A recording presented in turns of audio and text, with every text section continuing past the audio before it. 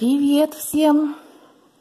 Ну что, друзья, засиделись мы уже в квартирах, и погода не радует. У нас сегодня дождь. Посмотрите, какой ветер. Наверное, уже не знаете, что и готовить, что приготовить своим домочадцам. И тут вам на помощь, конечно же, приходит интернет.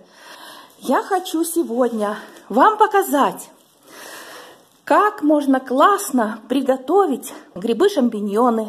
И я хочу сегодня познакомить вас, как я мариную эти грибочки просто, вы знаете, за 10 минут. И какие они потом вкуснящие.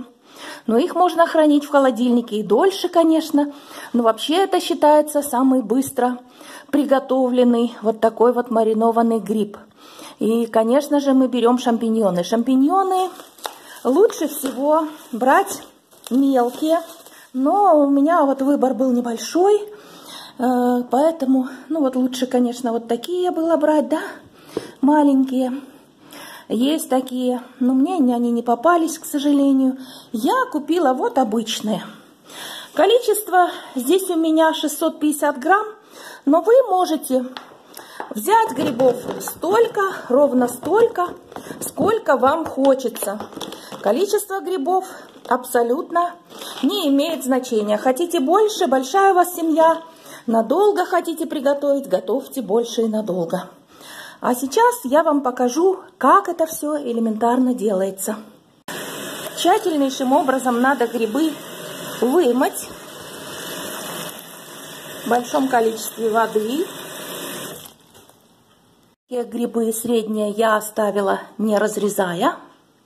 Ну а вот такие вот большие грибы, конечно же, желательно разрезать на части. У нас выглядят наши приготовленные грибы. Я их разрезала на 4 части большие, маленькие на пополам, а совсем малюсенькие оставляла неразрезанные. Но кому как нравится, только учтите, что, конечно же, грибы увариваются и становятся намного меньше. И что нам понадобится для того, чтобы сделать наши грибы вкусными, замечательными, маринованными. Для маринада вот я взяла лавровый лист, гвоздику, черный перец и душистый перец и чеснок. Кстати, вы знаете, лавровый лист у меня свежий, видите? Э, здесь в Англии лавровый лист растет везде, в лесу. То есть просто идете и срываете его, моете и используете. Замечательно. Ну, а у вас, естественно, сухой, нет проблем. Дальше у вас должна быть под рукой соль. Соль обязательно. Только обычная поваренная соль. Можно мелкую, можно крупную. Но вот не такую розовую соль, конечно, использовать нельзя. Или морскую соль, йодированную соль. Это ничего не подходит. Обычная поваренная соль. Нам также понадобится сахар. Нам понадобится яблочный уксус. У меня вот написано сидр винигар. Он душистый, он, конечно, замечательный. Но если у вас нет яблочного уксуса, используйте обычный. 9% без проблем или 6%. Или можете даже использовать уксусную кислоту, но только надо знать, сколько ее добавлять. Итак, давайте я вам все расскажу по порядку мы берем большую емкость какую-то, 2 литра воды. Я опускаю лавровый лист, перец душистый и обычный черный горошком и гвоздичку. Я нарезаю крупно чеснок. И знаете, что еще? Иногда я чеснок даже и не чищу. Потому что так или иначе он душистый. И он, главное для нас, чтобы он отдал свой дух – в наш маринад с грибами, а есть его как-то не предполагается. Поэтому не бойтесь, не заморачиваться можно и не чистить даже эти дольки чеснока. Броса, бросила я три дольки чеснока. Естественно, вода у нас кипит, как вы видите, да? Дальше мы должны на 2 литра нашего раствора высыпать вот я высыпала ложку столовую соли и неполную ложку столовую также сахара. Я уверена, что нам придется добавлять еще, но вы знаете, лучше, если мы это сделаем позже. А сейчас вот только так. И дальше я опускаю все наши приготовленные заранее грибы тоже в этот кипяток. Грибы порезанные, замечательные наши шампиньоны. Мы теперь должны дождаться, когда наши грибы закипят. Вот наши грибы уже закипели. И я им дам еще покипеть, наверное, минут 10 в этой подсоленной воде со специями. И дальше, что мы делаем? Сейчас вам расскажу. Ну, во-первых, они же уже, как вы понимаете, прокипели, поэтому я могу попробовать. Пробуйте на вкус. Прежде всего. Попробовали на вкус. И вы сразу можете ощутить, хватает ли у вас соли, хватает ли у вас сахара. Поначалу это так. Ну, опять же, я еще раз повторяю, если вы хотите, чтобы они были просто на день-два, и их съесть, то тогда, конечно, соли много класть не надо. Лучше соли класть по вкусу. Вот у меня как раз вот ложка на 2 литра получилось вполне нормально. И пол ложки сахара. Я думаю, что сахар я добавлю еще немножко, но сначала мы дождемся, когда я буду добавлять уксус яблочный. Представляете, друзья, какая у нас погода за окном? Дождь льет, как из ведра. Пока мы ждем, чтобы закипели наши грибы, я еще хочу вам показать. Посмотрите, у меня цветы полевые. Я поставила в вазу. И они как-то здорово украшают. Хотя это самые обычные колокольчики. Я нарвала их даже не в лесу, вы не поверите, а просто у себя вот там вот возле моего входа. У меня там есть немного колокольчиков, и они прекрасно стоят. Эти тоже такие, даже на стене они там у нас растут. И вы знаете, насколько украшает и радует все-таки свежие ну, вот цветы. Наши грибы прокипели 10 минут. Я думаю, что уже им и хватит. Что я делаю теперь? Самое главное, смотрите, я, конечно же, выключаю газ. В кипящую воду не стоит добавлять уксус, потому что, как вы понимаете, он выветривается. И дальше мы должны добавить уксуса. Надо добавить яблочного уксуса 2 столовых ложки. Добавляю 2 столовые ложки уксуса, либо яблочного, либо обычного столового уксуса. И что мы делаем опять? Правильно, мы опять пробуем на вкус, друзья. Ну вот я попробовала, вы знаете, и на мой вкус я бы еще немного добавила уксуса. Знаете, что-то я попробовала, попробовала и решила еще немного соли добавить. Еще пробую. Здесь самое главное, конечно же, чтобы вы сделали это на свой вкус. Но не забывайте, что если вы совсем сильно не до солите, или если вы, допустим, положили меньше уксуса, чем вообще-то нужно, ну тогда у вас будут грибы пресные, потому что они же все-таки еще отсюда заберут и соль, и кислоту.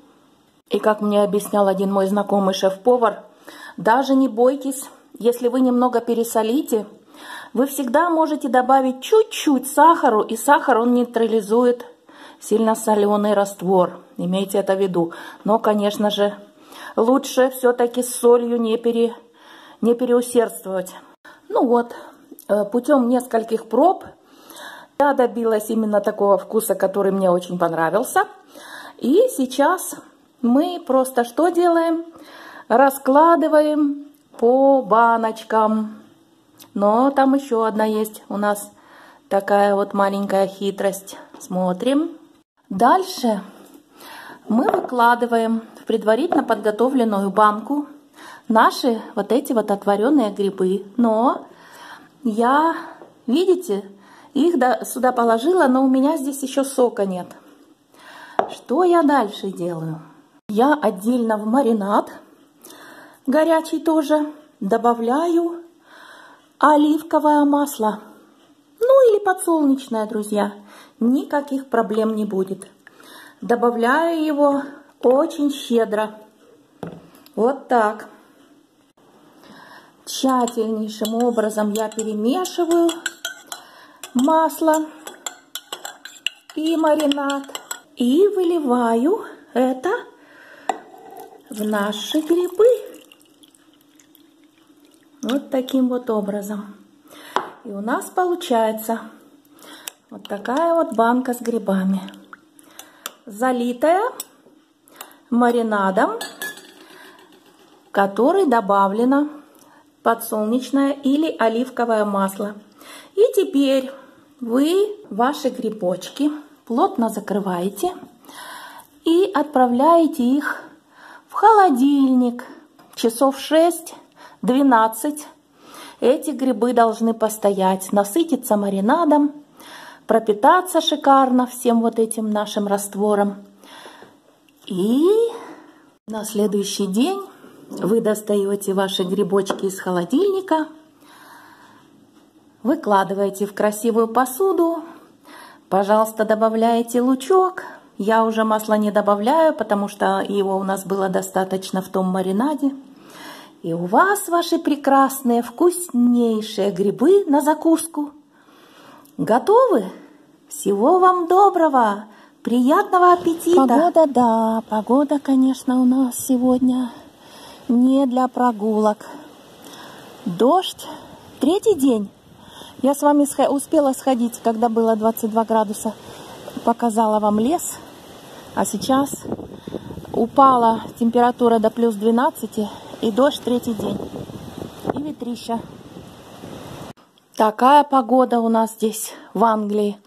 Но никого, вы знаете, этим, наверное, и не удивишь. Такой погодой это чисто английская погода.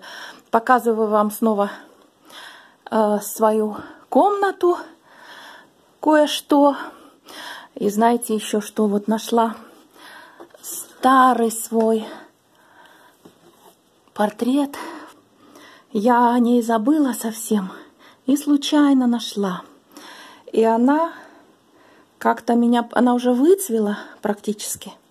Но вы знаете, как там говорится, вы знаете, у нас интересно, когда ты молоденький и фотографируешься, тебе показывают твои фотографии, тебе кажется, ой, да ну, что-то не то, и, в общем-то, совсем ты какой-то страшный здесь, и фотография неудачная. А потом проходит энное количество лет, и вы знаете, и вы находите свою фотографию, где вам 20, и думаете, боже мой, какая красотка пушистенькая, сколько волос много. Какая интересная фотография. Как все меняется с возрастом. Так что хочу сказать, я эту фотографию вам показываю потому что я хочу ее нарисовать. И, наверное, скоро это сделаю и тоже вам покажу, как это будет выглядеть. Еще расцвела моя белая орхидея, посмотрите. И э, тоже, кто помнит, я показывала вам, какая она у меня огромная была в прошлом году. И какая она маленькая. И даже я опять умудрилась вот одну поворачивала и обломала. Она такая хрупкая. И одну палку с цветами я обломала. Но вот то, что я уезжала в Таиланд, и она у меня долго стояла неухоженная, наверное, под, подзасохла, осталось совсем даже у нее немного там и листиков, видите. Но тем не менее цветет красавица. Надеюсь, что она у меня не, не сгинет.